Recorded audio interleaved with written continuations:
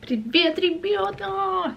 Я знаю, что вы любите мои влоги из дома, но сегодня мы с вами едем на дачу. И я не знаю, что из этого выйдет. Блин, мне надо собирать, надо собрать косметику. Мы сейчас со Славой и с Вивьеной поедем на дачу к моей маме, потому что там, представляете, а, я снимала прошлый влог, и у меня целых три файла удалилось, но я вам об этом говорила. Не то, что они удалились, они просто были повреждены, я не знаю почему, и и меня это очень сильно напрягает, на самом деле, потому что мне хочется чувствовать себя в безопасности, и хочется чувствовать свои файлы в безопасности тоже.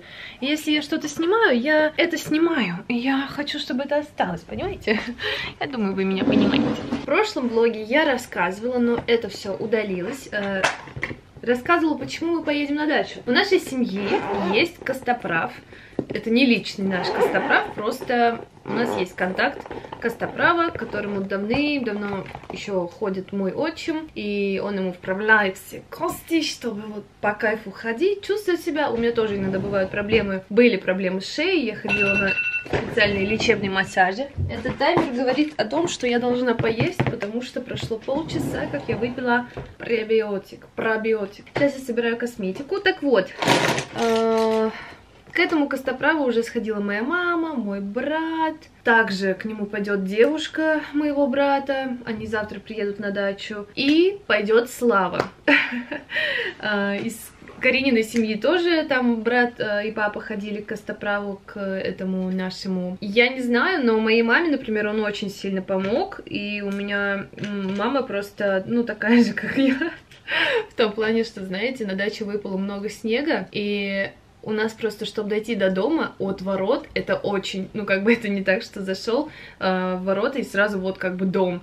То есть, э, например, у, у Карины, да, на даче, у них так, что заходишь в ворота, да, в калитку, э, и сразу же, по сути, ну, немного шагов пройти, чтобы зайти в дом. А у нас не так, у нас надо весь участок пройти, чтобы попасть в дом. И Моя мама решила, что она должна перекопать весь огромный наш участок, проделать тропинки, чтобы нам всем было очень классно ходить. Конечно, нам было очень классно ходить, спасибо, мама.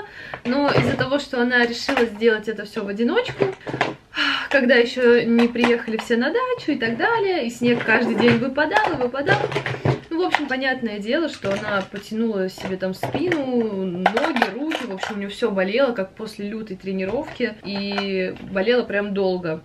Ну и, короче, и она сходила к этому костоправу, по-моему, уже три раза сходила, а он там делает какие-то чудеса. Такие мы странные, вся наша семейка. Я гомеопаты, мои родители костоправы. Ну, короче, не знаю, но в это уж, наверное, можно поверить, да, все-таки человек. Причем э, у этого мужчины, я думаю, прям какой-то супер талант. И не знаю, верите вы в такие вещи или нет, что очень часто люди, у которых есть какой-то дар, у них, ну, например, не знаю, зрение очень плохое. И вот у него тоже вот такая тема, что он, ну, практически там не видит, но при этом он, ну, видимо, руками как-то, я не знаю, что-то чувствует, и мама мне рассказывала, что он просто берет твою голову такой, типа, потом руки берет, такой, типа, ну, короче, типа, жестко вставляет все это дело, крутит, вертит, и у моей мамы настолько были сильные боли после всех этих махинаций, движений, что она просто, ну, она не могла присесть элементарно, то есть у нее все болело очень сильно, она там, не знаю, ну, короче, тяжело ей было, и он, короче, все ей сделал, после первого сеанса такой говорит, типа, давай приседай. Мама такая подумала сначала, типа, чего, чувак, я к тебе приехал, вообще не могу ходить нормально, а ты мне говоришь, давай приседай. Она присела и нормально все, прикиньте. Ну, короче, не знаю, но это все очень интересно, поэтому сейчас собираемся. Собрала косметику, потому что, потому что мы там будем не один день. Завтра у Славы Костоправ в 12. Потом мы едем на дачу. А, короче, суть в том, что Костоправ этот находится в минутах 15, наверное, от нашей дачи. Может, в 20 минутах. Я у него не была, это я чисто по рассказам слыхала. И понятное дело, что ехать из Москвы, вот сейчас до дачи нам показывают 2 часа. Ну, час 58. Это типа нормальное время, то есть это прям без пробок. Можно долететь. И понятное дело, что ездить каждый день к Костоправу, ну, ну, не каждый день, надо три раза сходить к нему. Кому-то больше, кому-то меньше, но обычно все равно три сеанса нужно. Сюда, это, кстати, мне подарили Сиаты, это я ж не знаю, сколько лет, в 2000 каком году это было, когда мы ездили в Лондон, э, на мероприятие и вообще на знакомство с брендом Сиаты, с которым я потом долго сотрудничала. И так было классно. Мы когда зашли в номер, они всем девочкам, кто был в этих поездках, подарили вот такие, э, как это называется, типа косметички. И вы, наверное, думаете, что это за буквы? А, рассказываю еще раз. Я думаю, что все мои подписчики знают, что Пушман это мой псевдоним. У меня фамилия Гагитидзе, и это типа Улия, как по паспорту. Короче, у меня типа У Улия. Ну, короче, не знаю, то есть типа не Джулия даже. Ну, короче, вообще жесть. Я ее до сих пор храню и всегда, ну, как бы использую ее обязательно. Просто она у меня такая, знаете, косметичка. Тут еще такое качество, что если что-то разольется, то все будет классно ну, в смысле, никуда дальше не потечет. И я здесь обычно перевожу, вот когда на дачу еду или в путешествие, всегда здесь перевожу всякие умывалки для лица, тоники какие-то, там пенки и, в общем, все в этом духе. И пока я это все собираю, буду вам рассказывать, показывать, что я с собой беру на дачу. Смотрите на мои цветочки, они все еще стоят потому что были подарены с дикой любовью. Пока я кушаю крабовые палочки, расскажу вам, что мне сегодня приснился просто ужасный сон. Я не знаю, правильно ли я делаю, что рассказываю, что мне приснилось, но это вообще какая-то дичь. Я не знаю, мне было так плохо. Короче, мне приснилось, я каким-то образом оказалась на операционном столе, и когда я очнулась, оказалось, что это была операция по смене пола. И я стала мужчиной, я не знаю, это был ужас. Причем мужчиной я стала только в одном плане, вот в этом нижнем. И это, я не знаю, я в шоке, потому что у меня никогда не было желания почувствовать себя мужчиной. Я не знаю, я когда проснулась, у меня был такой шок. То есть суть в том, что это было не мое решение пойти на эту операцию, я этого не хотела. То есть это просто каким-то образом это сделали без моего согласия, я не знаю, но я когда проснулась, я очень долго лежала и думала, господи, как я люблю быть девочкой, как мне все нравится в моей жизни. И как это вообще, то есть суть в том, что я осталась такой же, какая есть, все то же самое, только другое. И я такая, зачем вы это сделали, как я рожу ребенка, то есть это вообще, я вообще, я реально была в шоке. Я, конечно, как всегда, давай читать в сонниках, что это значит не совсем пон... Не, ну, наверное, уж да. Я просто думаю, как... Я знаю э, примерно, да, как проходят операции по смене пола именно если ты мужчина и хочешь стать женщиной. Но как сделать наоборот, я даже знаю. Мы как-то с Надей смотрели на каком-то сайте закрытым, я не знаю. Просто у меня Надюха, ну, вы сами знаете, в медицинском работает, она видела столько всего разного. И есть какие-то сайты, ну я не знаю, что это за сайт, это было, я не знаю, сколько лет назад, и мы там смотрели операцию по увеличению, ну вы сами поняли чего. Такие дуры. И я, как и сказала, я, я представляю, я смотрела тоже видосы, как, как делают эти операции, как из мужчины делают женщину. В общем, по-моему, это даже на ютубе есть такая дичь, если честно. Не, типа, я бы хотела всем сказать, что я нормально отношусь ко всем. Меня абсолютно не волнует, кто что с собой делал, кто кем хочет быть в этой жизни, кто кем родился и так далее. Мне это вообще, клянусь, мне вообще по барабану. Просто для меня лично я очень не хочу э, что-то менять в своей жизни. Мне нравится быть девочкой. И этот сон, который мне приснился, он меня действительно прям вот не то что напугал. Я просто, клянусь, я очень долго потом лежала и думала, как, господи, вот я не знаю, как я рада, что я девочка. То есть это, знаете, вот иногда бывает снятся такие сны, вот прям страшные, а для меня это был страшный сон, потому что... Потому что... Иногда снятся такие сны реалистичные, и ты так переживаешь во сне, и когда просыпаешься, ты еще долго думаешь об этом, приходишь в себя, и, слава богу, успокаиваешь себя, да, как-то понимаешь, что, что все это сон, и это, это не наяву. У меня бывают такие сны, я их терпеть не могу, потому что иногда бывают неприятные сны, какие-то страшные сны, там кто-то умер, например, не знаю. То есть это прям очень. И у меня даже бывают такие сны, что я плакала во сне и просыпалась, тоже плакала первые там секунды. Ну то есть это вообще ужас. В прошлом видосе файлы, которые удалились, я зачитывала статью о мошенничестве. Уже снова зачитывать не буду. Я все заскринила, все записала, у меня все, все доказательства есть. В своем телеграм-канале я рассказала, сколько денег мне должен человек. Причем суть в том, что, еще раз повторюсь, я ему в долг не давала. Это был просто обман мошеннический. И как вы знаете, он каждый день кормит меня завтраками, обещаниями и так далее.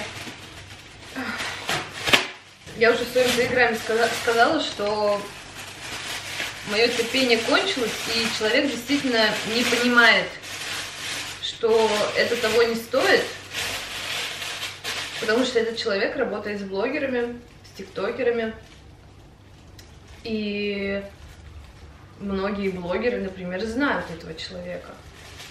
Самое интересное, что... Йоу, мэн, я же все расскажу. А я не хочу рассказывать, и я решила так, что если он мне все-таки ну, решает не, не возвращать, а он, видимо, так и решил. Да, я человек терпеливый, просто у меня всегда есть какая-то надежда на то, что человек осознает, что в его действиях нет логики. Типа та сумма, которую он мне не отдает, она не стоит того, чтобы на весь интернет я рассказала, кто этот человек, или обратилась в полицию. Я не знаю, о чем думает этот человек. Я, мне это просто даже до смешного. Как-то вещей много брать мне не надо, мне вообще особо ничего такого не надо. Взять пижаму, зубные щетки я уже взяла и умывалки всякие.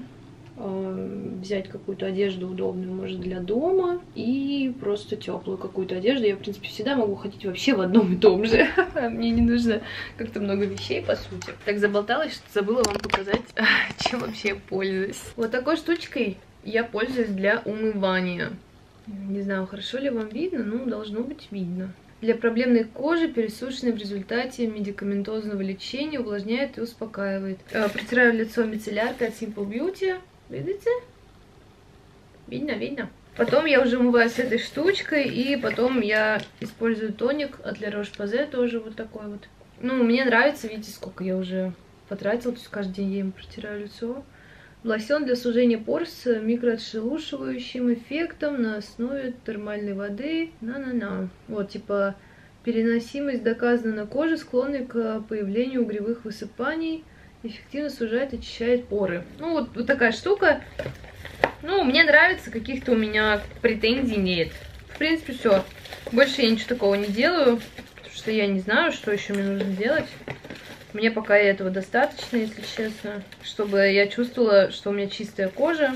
Ну, не знаю, может что-то еще мне надо. У меня в комментариях много советчиков, сейчас напишите. Кажется, мы готовы выезжать. У меня вся Курска в тоналке. Вивьена, конечно же, очень рада этой поездке. Вот сколько всего нам с собой брать. Но это не самое даже большое, что бывало в нашей жизни. Так что будем отправляться. Еще нам надо зайти в магазин. Мы сейчас едем на дачу. Я вам об этом рассказывала. Мы заехали в Макдональдс. Скушали еды. Вот, э, дорога у нас дальняя но мы уже проехали меньше половины, намного меньше половины, и нам осталось час 17. То есть, в принципе, мы минут 30 едем, наверное, уже. Погода просто омерзительна. Просто ужас. Интересно вам мое мнение по поводу песни, которая и исполнителя, да, который поедет представлять Россию на Евровидении. Если вам это интересно, то скажу, мне не нравится. Мне не нравится и вообще даже вникать не хочу, просто мне не понравилась песня. У меня есть песни, которые я слушаю для души, а есть песни, которые я слушаю просто, чтобы расслабить свой мозг и не задумываться.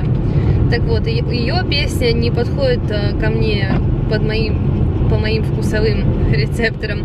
Эта песня не подходит ни под одно из двух. Это для меня не песня для души, и это не песня для того, чтобы расслабить мозг. Короче, в общем, в принципе, это все, что я хотела сказать. Мне не зашло максимально. Я знаю, что там какой-то смысл интересненький, типа, не знаю, феминистский он там или нет. Типа, женщины сильные, классные, давай-давай, вас Это как бы клево, да, женщины молодцы.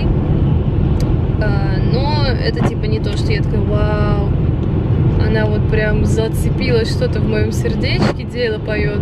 Ну, короче, блин, а, на самом деле, мне не то что пофиг, а, я к Евровидению перестала относиться как-то с уважением, наверное, даже можно так сказать, потому что раньше, и по моей памяти, Евровидение это такой классный конкурс, а, там, куда приезжают люди со всего мира, со всех стран, ну, может, не со всех, но большинства участвуют, ты слушаешь, болеешь, отправляешь смс, волнуешься, и твое мнение, твои оценки что-то что, -то, решают, а сейчас это просто, мне кажется, какие-то политические игры. И понятное дело, что каждый раз, когда от нашей страны отправляют какие-то вот такие песни, ну, я сразу понимаю, что это делается специально, чтобы мы не победили. Ну, у меня других мыслей больше нет на эту тему. Зачем еще отправлять такие э, песни? Ну нет, кому-то может и понравится, кто-то может кайфует и каждый день слушает в своем плеере это, но понятное дело на вкус и цвет, но мне максимально не зашло. А как правило, если мне максимально не зашло, то скорее всего и много кому тоже не зашло.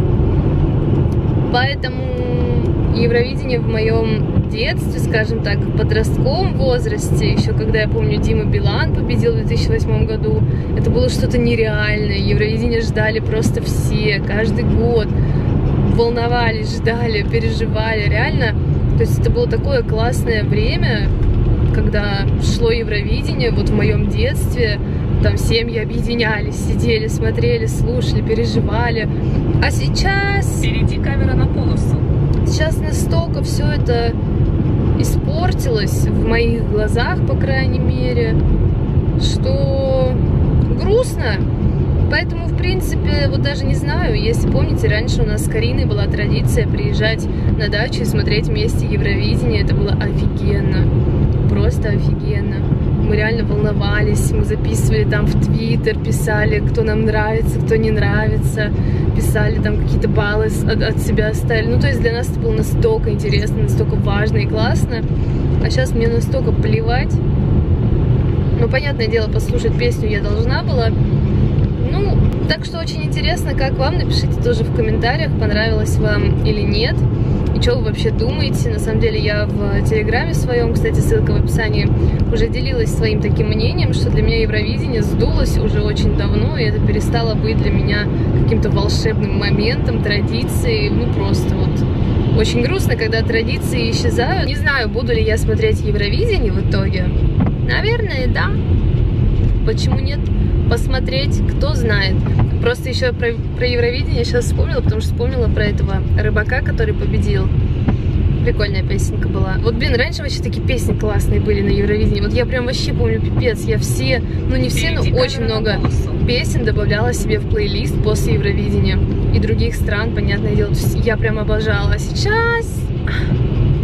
В общем, ладно, покажу вам немножко грязной дороги. Так вот мы едем, это сейчас я еще помыла стекло, до этого все было в грязи. Очень неприятно на самом деле ехать по такой, такой дороге, видите, на обочине сколько грязи, и вот особенно когда большие машины проезжают, вообще отстой. У меня все стекло грязное, не знаю, видно вам или нет. Фу, так не нравится, так некомфортно. На улице грязь, машины грязные, прям не нравится. Так что едем. Привет, ребят, новый день.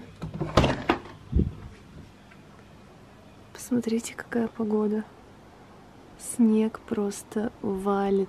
Лютый. Сегодня проснулась в 11. И сейчас последний час спала. Мы вышли с Ювой на улицу, чтобы она сходила в туалет. Пошли. Снега навалило. Кошмар. Просто. И он до сих пор падает. Сумасшедший. У меня уже все в снегу. Сейчас мы лежали, дремали Слава сегодня был у Костоправа. Но он, кстати, нормально себя чувствует. Не так жестко, как могло бы быть. Вив молодец. Снежок очень мягкий. Я думаю, из него можно сделать классного снеговика. Пошли, пошли домой. Ты уже сходила. Пойдем, пойдем.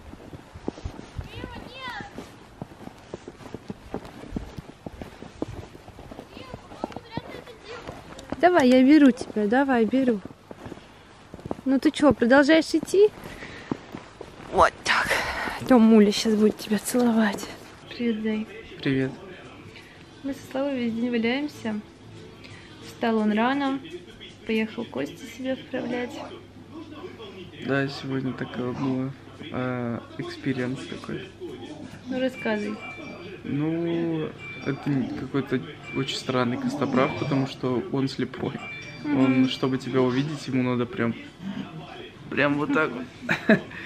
Вот, и вообще такое, ну, такого не бывает, да, то есть э, обычно они все, все должны все там видеть, все. Но он как будто ощущает чем-то другим, он как будто руками видит, он как будто Короче, он какой-то вообще волшебник. Ну да, типа есть какой-то дар. Да, да, у него дар стопудово. И... О, вот, покажи, да. У меня засосы здесь. Здесь... Это на самом деле у тебя лопнули капилляры, да. потому что он тебе там все крутил, вертел. Да, он мне нос вставлял, черепушку мою тоже крутил, она скрипела вообще так. Так интересно. Да, э, спину, по груди херачил, но у меня был опыт с костоправом в ну, более раннем моем возрасте. Mm-hmm. Лет 10 назад в Патияхе приезжал к нам какой-то костоправ, он делал очень больно. Я даже просил его тормознуть, говорю, ну остановитесь, пожалуйста, мне больно, нереально больно. А у него было, ну, терпимо. Ну, был, было неприятно, но терпимо. То есть он, ну, не как-то не мучил меня. Завтра вот еще раз пойду. Ну, Мама говорит, что завтра тебе должно быть больнее. Потому что, считай, он тебе сегодня сделал неприятность, как бы устраняет твои проблемы, но при этом кости все равно от этого не привыкли, им это, ну, наверное, все равно ломит как-то, да? Ломит. Вот, я думаю, что завтра утром или под вечер, может, еще больше будет ломить. Ты знаешь, как после тренировки сильной, то есть обычно ты жестко потренировался, мышцы на следующий день обычно болят хорошо, а в этот день они так сильно еще не болят, или под вечер начинают. Я думаю, завтра вообще будет трэш, потому что он на твои, ну, вот эти вот да. болячки будет. Да, все возможно. Ой, но он сказал, что у тебя в шее, да, что-то. Да, он мне первое, что сказал, прыгал, да, э, в воду прыгал. Я говорю, ну да, я плавал. Ну, в смысле, говорю, что в бассейне плавал. Угу. Он говорит, нет, ты прыгал, а я лет, э, ну тоже давно, даже я, я не посчитаю, лет 10 назад тоже в Крыму прыгал с очень большой скалы вниз в воду и, и прыгнул, видимо, не очень хорошо, неправильно. То ли у меня сместилось что-то, то ли как, как какие-то зажимы есть внутри сосудов, и он это очень все сразу увидел. Первый вопрос, который он задал. Ну вот, и что-то у меня еще шеи сзади. Угу. Но он посмотрел, сказал, это 27, ой-ой-ой, типа, 27 это очень, ну, типа, ну, как бы, сложно будет исправить. Но он сказал, что надо работать над этим. Правда, я пока не понял, что у меня там за проблема. Он, он очень странно разговаривает. Он, э, грубо говоря, слепой, но он а, я так понял, что он реально какой-то волшебник. Он все это видит глазами, хотя и, и видит плохо. Mm. И он очень странно разговаривает. То есть он спросил, то, кто я кем работаю, там туда-сюда, и начал меня грузить какими-то непонятными словами. Просто я, я не понимаю, о чем он говорит. Я пытаюсь вникнуться. В этот момент он меня мною хрустит. Ну да, да типа заговаривать, забалтывать тебя всякой ерундой, чтобы ты да. пытался подумать о том, что он тебе говорит. Да, но я в какой-то момент начал вообще его пугаться, честно, потому что он... Чё, по понятиям, да? Ха, ч. Короче, что-то очень странно, ну там, непонятно, очень непонятно. Я думаю, что не все так, ну, спокойно на это могли бы обращать внимание. Я прям немножко поднапрягся, но потом уже под конец я смирился. Mm-hmm. Уже такой, ну ладно, все, да, да, конечно, да, все, вы правы, да, ну просто начал как-то делается для того, чтобы отвлечь от, Конечно. от главного, от того, что он крутит, вертит.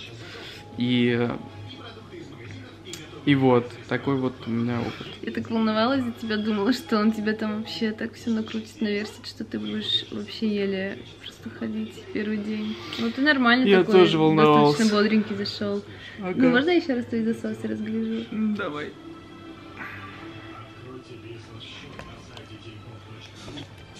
Вау.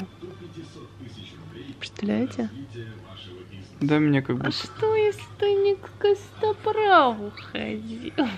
Извини, конечно, выглядит так, как будто он тебя душил, пытался убить. А он мне очень... Вот здесь шею, по шее а, проходил, да? да, да. Пальцами нажимал? Пальцами, все здесь, челюсти, все, вот здесь вот хрящи какие-то он мне вправлял, это было, ну... Первое, жестко. что э, Слава мне сказал, когда только зашел, говорит, посмотри на мой нос. Да, Славы он, он и нос мне всегда был ровный. Сейчас уже немножечко, ну, напух. Да. А сейчас уже по полегче уже. А, ты мне говорил про видео так, а я провожу, ничего не понимаю. Нос не, не, он, он напух. Я ж вот так твой нос постоянно он не здесь, трогаю. Он здесь у меня красноватый был, ты не, не заметил. Ну, посмотрим. Может быть, он тебе там что-то починил, вот эти перегородки, мало ли. Вообще. Вообще. Заживешь, задышишь новой жизнью. Сил нет, я думаю, все это из-за снега, из-за погоды.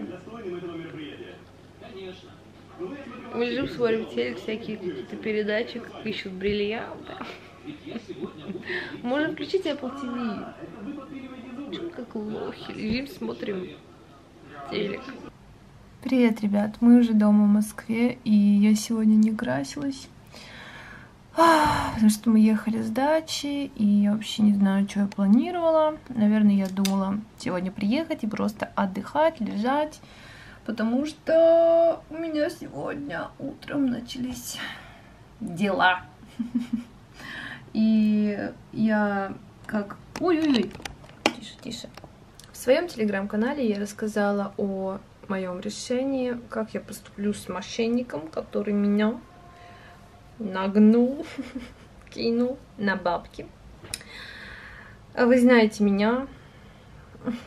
Я не хочу так говорить, да, типа, как будто бы, ой, посмотрите, какая замечательная, хорошая, но я честно считаю себя хорошим человеком, который никогда ничего э, там какого-то такого не делает, знаете, какой-то грязи. Да, мы бывает там в реакциях шутим, можем кого-то там сказать, что ой, поступок тупой, человек вообще не соображает, но когда действительно человек творит какую-то дичь. То есть просто так мы никогда никого там ничего. И не я, я никогда вообще никому ничего не желаю плохого, никогда чужого мне не надо и не беру. След. Ну ладно, ничего. Все равно шикарное.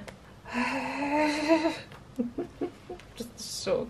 Человек обманным путем забрал у меня 350 тысяч. 60 тысяч он мне вернул, и так как я в мошенничестве не разбираюсь, потому что обычно я с этим не сталкиваюсь, и я никогда никого нигде не обманывала, никогда чужого к себе там что-то не присваивала, не забирала, никого не обманывала, так что типа, а, да, деньги нет. Я вообще считаю, что это грех. ну, короче, мне сказали то, что он мне вернул столько денег, 60 тысяч, чтобы сумма была меньше 300 тысяч, 300 тысяч, потому что меньше 300 тысяч это типа административка, и если я пойду в полицию, ну, как бы я думаю, к нему просто домой придет участковый и скажет тебе, ну, короче, деньги верни. Типа, он скажет, я сейчас не могу, у меня там нога болит, жопа болит, не могу вернуть. А участковый скажет, ну ладно, ну просто верни потом, типа, ну верни. ну, короче, я не знаю, я не, не гарантирую, да, что так все работает. Но, типа, такого, что приезжает полиция, в него наручники, гони бабки, вау, пау, пау, такого не будет. И этот чувак, да, который обманул меня и все такое, он сто процентов... Гадалки не хотел, он делает так не первый раз. И, как я уже много раз вам говорила, что мне смешно, его действия, его поступки, они меня смешат, потому что он ничего не боится, как будто бы. И вот сейчас у меня выходит этот влог, я приехала в Москву, и в своем телеграм-канале я сказала, что я буду снимать видео про него. А, все, возможно, вы все узнаете, да, своего героя в лицо. А, ну, не знаю, да, в итоге дойдет до этого или нет. Я не хочу искренне этого делать. И даже не знаю. Человек каждый день, конечно же, продолжает мне рассказывать разные сказки. А сегодня он мне вообще рассказал, что у него мама болеет. И я не знаю, просто я человек, типа, добрый, я бы никогда не стала шутить такими вещами, поэтому мне очень часто хочется судить людей по себе и подумать о том, что это, ну, как бы правда, не дай бог, там, всем здоровья, и, ну, как бы, типа, все я понимаю, ну, типа, решаю вопросы с мамой, там, пусть не болеет, еще что-то, но у меня очень э, конкретное понимание того, что это вранье, и, ну, как бы, блин, Потом я позвонила некоторым знакомым блогерам, рассказала им ситуацию, рассказала им, что это за человек. Ну, типа, просто позвонила, говорю, привет, помнишь этого чувака? У тебя случайно с ним никаких терок таких не было? И, в общем, просто позвонила нескольким людям, с которыми я знаю, что он работал, а, рассказала всякие байки, которые мне рассказывал этот чувак. А, если дойдет до того, что видео, которое я сниму про него, я выставлю, вы тоже все это узнаете, это просто дичь. Я говорю, то, что вот он мне постоянно рассказывает, что у него там какие-то проекты подтверждаются и так далее, и кто-то из блогеров, кому я звонила, мне отвечает, он до сих пор этим занимается, то есть это, ну, такой человек, мошенник, знаете, который делает это постоянно. Я не знаю, мои подписчики в Телеграме не все поддержали мою идею именно того, что я сейчас расскажу, но в моих планах снять про него видео, рассказать, кто это, что это, прислать ему и прислать ему это видео и сказать, типа, вот, на согласование. Э, посмотри, пожалуйста, все нормально сказала. Мне очень интересно посмотреть на его реакцию. Я не знаю, что он скажет, но у меня было в плане что-то в духе, ну, как бы, вот у тебя чаша весов, либо да, ты забираешь 290 а, тысяч, которые ты мне не вернул. Кто-то еще писал в Телеграме, типа, господи, Юля, ты же богатая, зачем тебе эти деньги, вообще забей. Вы знаете, богатые люди э, свои деньги берегут и своими деньгами вот так вот не дарят, им всем попало, поэтому они и остаются богатыми. Дело даже не в богатствах, дело в том, что это просто не по понятиям, это что такое. Для меня это хорошие деньги, для меня это хорошая сумма, а, это деньги, которые я заработала, и почему я должна их просто дарить какому-то мошеннику? Не должна, я не считаю, что должна. Ну, короче, я не знаю, я пока, если честно, еще не знаю, как, как я поступлю, как карта ляжет. Сложно пока сказать, нет желания раскрывать личность человека. Я имею дикое желание э, выставить переписки какие-то, какие-то голосовые включить, но я не знаю, насколько я могу это сделать. Э, в любом случае, я сто процентов могу, э, я могу сказать то, что я ему писала, и могу включить свои голосовые, я так думаю, потому что это моя голосовая запись. Ну, короче, я в любом случае проконсультируюсь с юристом. Я думаю, что я сниму видео прям по полной катушке, отправлю юристу, и, может быть, он скажет, типа, не, вот это нельзя делать. Это видео разлетится по всему интернету, я это гарантирую. А, у меня много друзей, и пабликов очень крутых тоже. И очень много блогеров, которые меня с радостью поддержат. ну, короче, я просто знаю, что некоторых блогеров он шантажировал, меня этот человек абсолютно не пугает. Что он сделает? Сольет мой номер телефона.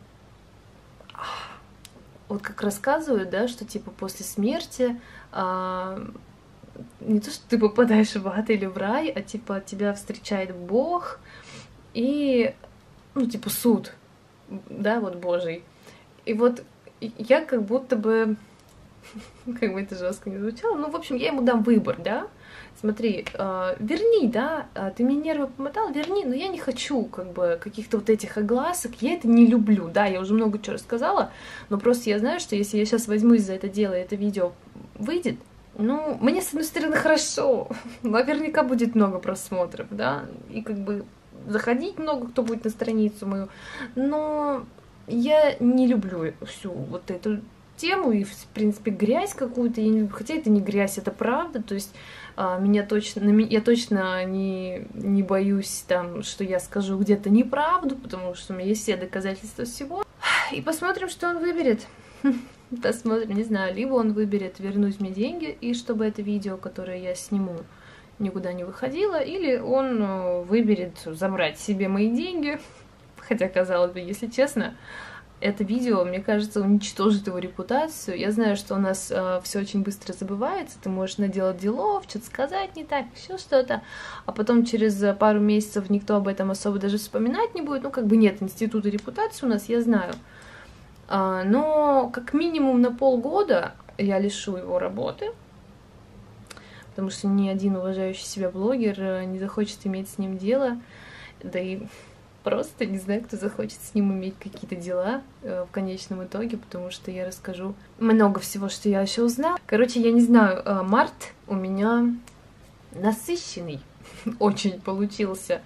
И я, если честно, устала уже от этих разборок, от этих сумасшедших людей, э, конченых. Я про разных сейчас людей говорю. Вы здесь ни при чем, я про других. От всяких мошенников, я его знаю миллион лет, что миллион лет. И от других знакомых блогеров узнаю, что он просто всей Москве должен деньги.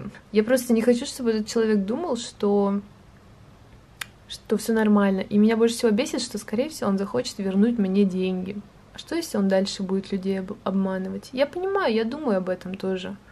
Что в идеале выпустить это видео. Ну, короче, я подумаю, ребят. Не знаю. Может, он мне вернет деньги, я все равно выпущу видео. Не знаю, я пока не знаю. В любом случае, что-то одно будет. Просто подписчики мои в Телеграме сказали, типа, не надо ему ничего присылать, просто сразу выставляй, и все, забей на эти деньги. Если честно, больше хочу вернуть свои деньги, чем какие-то скандалы устраивать. Хотя он заслуживает, я считаю, наказания. Ну, не знаю. В любом случае, я всегда говорю, Бог накажет. Че я? Я не, я не судья. Короче, не знаю. Все, на этом все.